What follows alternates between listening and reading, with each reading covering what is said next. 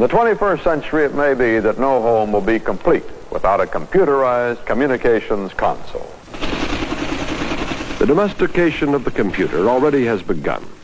In Phoenix, Arizona, the Charles Crawshaw family has learned to live with a computer terminal in their kitchen.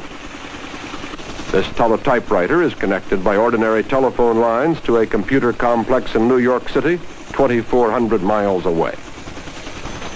Charles Crawshaw, a General Electric engineer, works on technical problems. His wife Barbara uses the computer for various household chores. Here the computer has expanded the proportions of a recipe for six into a recipe for 14.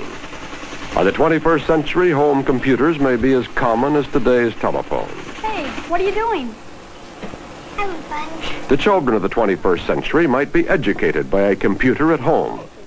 The Crawshaw daughters do some of their homework this way today.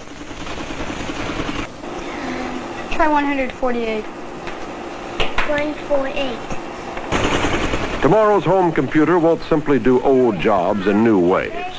By the time the Crawshaw daughters have families of their own, we may have created jobs for computers that we haven't even dreamed of today.